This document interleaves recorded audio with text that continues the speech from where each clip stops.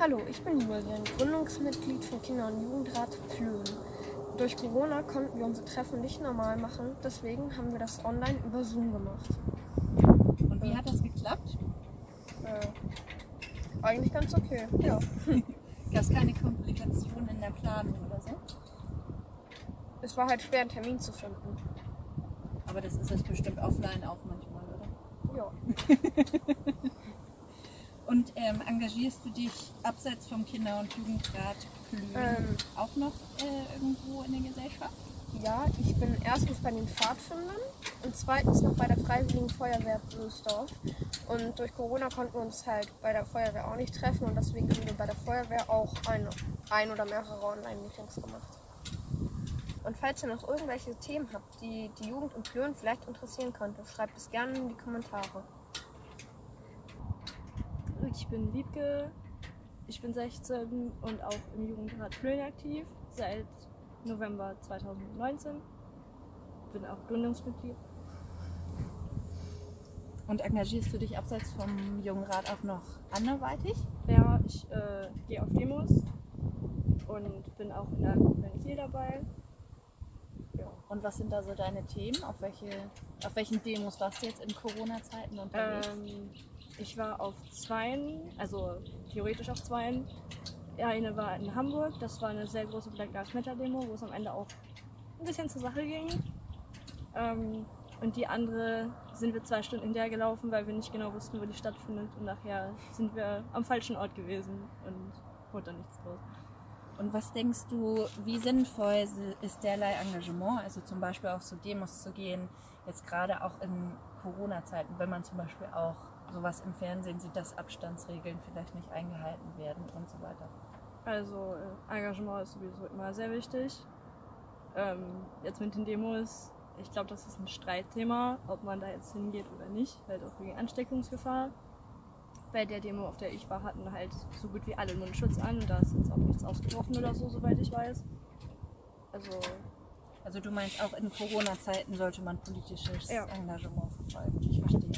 Äh, was würdest du denn sagen, sind die großen Themen derzeit der Jugend vor Ort und auch in Gesamtdeutschland, wenn du das zusammenfassen solltest? Klimaschutz ist ja ganz groß. Ähm, die Black Lives Matter Demos jetzt momentan und auch die Seenotrettung im Mittelmeer, dass da halt täglich Tausende oder auch Milliarden von Menschen ertrinken und keiner tut was, es wird nur geredet.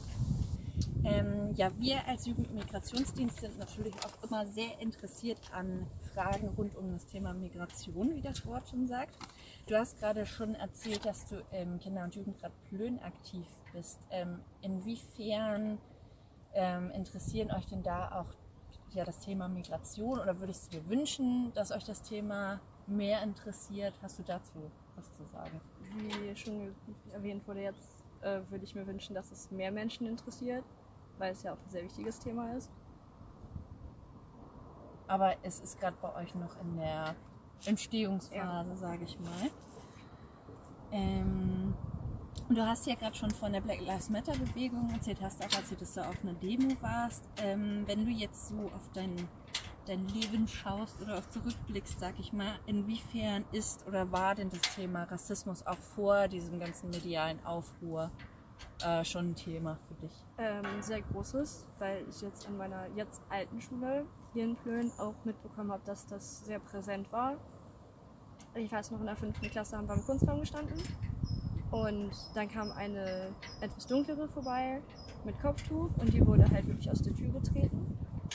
Und das ist halt schon erschreckend, wie jetzt sogar Jugendliche damit umgehen und halt auch jetzt schon, ich sag mal, ausschreitend werden.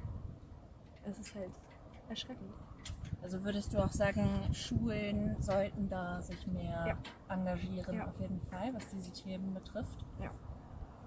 Ähm, und wenn du auf deinen Alltag guckst, gibt es da noch mehr Berührungsthemen, vielleicht auch in deiner Freizeit, in deinem Freundeskreis, in deinem Job, wenn du einen hast, wo du mit diesem Thema kulturelle Vielfalt, Migration etc. in Berührung kommst? Jein. Also man bekommt es ja mit auf der Straße oder in der Schule, wie gesagt, oder ja auch im Freundeskreis mit Eltern, Familie oder so, dass halt schon so darüber geredet wird, dass man manchmal nicht versteht, warum das so aufgenommen wird. Mhm. Und wie nimmst du hier so vor Ort, sag ich mal, so die, die äh, Stimmung wahr? Oder wenn es jetzt auf dich äh, speziell gewünscht ist, also hat das für dich irgendeinen Einfluss, wie du eine Person wahrnimmst, ob sie einen Migrationshintergrund hat, ja oder nein? Mir ist das komplett egal. Und wie nimmst du allgemein so die Stimmung ähm, vor Ort oder meinetwegen auch in ganz Deutschland wahr, was das so angeht? Also, beziehe mich jetzt mal hier auf den Ort. Mhm. Also, ich glaube, einigen ist es komplett egal und andere, ja, sagen, es ist egal, aber wenn man mit ihnen dann drüber redet, dann grenzen sie doch wieder aus. Okay, also tr- trotzdem ein präsentes Problem. Ja. Ähm, eine letzte Frage, wenn du da auch was zu sagen hast. Ähm, wenn du jetzt so eine Message der Öffentlichkeit oder auch den Leuten hier vor Ort mitgeben könntest, was das Thema Zusammenhalt, gut Zusammenleben angeht, was würdest du dann so kurz zusammengefasst den Leuten sagen können? Grenzt Menschen nicht aus. Es ist egal, wo die herkommen. Mensch ist Mensch.